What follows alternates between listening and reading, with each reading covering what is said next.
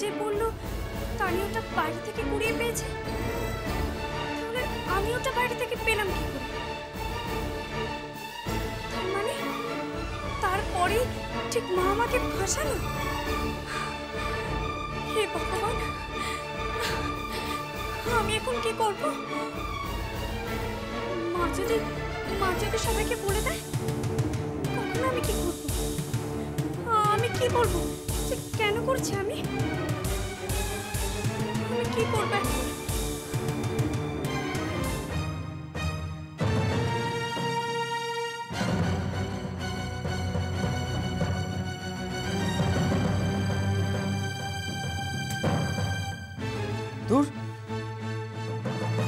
আজকে সকালে কাজে বেরিয়েছিলাম।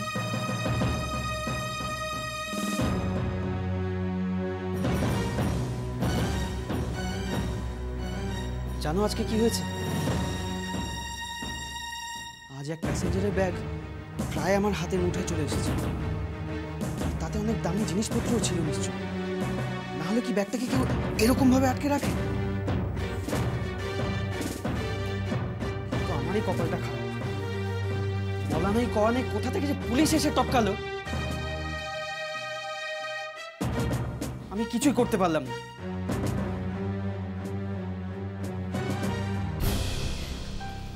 তোমার এই পাঁচালে শুনে শুনে না আমার কান পচে গেছে। একদিন তো একটু ভালো কিছু শোনালে পারো। শোনো, ঘরে বসে বসে এসব বড় ডায়লগ দেওয়া অনেক সোজা, বুঝেছ তো? তুমি কি মনে করো? তুমি আমার থেকেও ভালো এই কাজগুলো করতে পারবে, তাই তো? বেশ, তাহলে যাও, বাইরে বেরিয়ে এই কাজগুলো করে দেখাও। কে বলতে পারে? মনোজের মতো তুমিও একদিন চোরের রানী উপাধি পেয়ে যাও।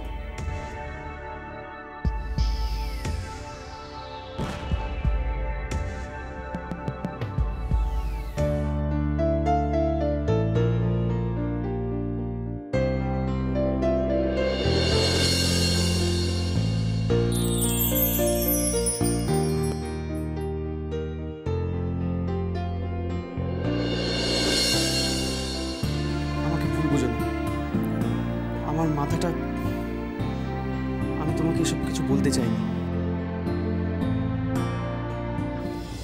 তুমি ঠিক কথাই বলেছ। সব দোষ আমার। আমার এই সমস্ত আমার দিকে আঙুল তুলেছে তুমি আর বাদ থাকো কেন? এসব তুমি কি বলছো সুমনা? আমি এসব কিচ্ছু বলতে চাই না তুমি এরকম দেখাচ্ছে কেন সুমনা? তোমার আর কি? তুমি তো দিব্যি বাইরে ঘুরে বেড়াচ্ছ। বাড়িতে কি হচ্ছে না হচ্ছে কোনো ধারণা আছে তোমার? কোনোটার কোনো খোঁজ রাখো? কেন কি হয়েছে? একটা কথা আছে না উপকারীকে বাঘে খায়? তাই হয়েছে।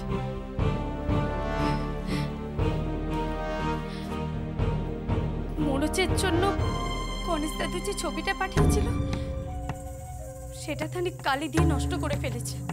তাই আমি ভাবলাম যে সবাই ওকে বকাবকি করবে। তাই আমি ছবিটা বাইরে ফেলে দিলাম। ব্যাস তোমার মায়ের সমস্ত রাগ এখন আমার উপর।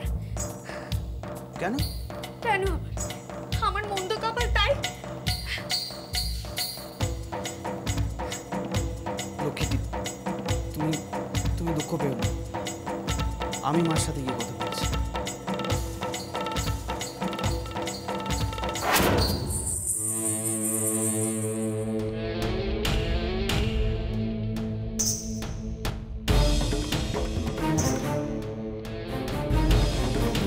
বলছি জেনেই হোক আর না জেনেই হোক সোনার পায়ে কাঁটা ফোটাবার শাস্তি তোমাকে পেতেই হবে রানী তোমাকে পেতেই হবে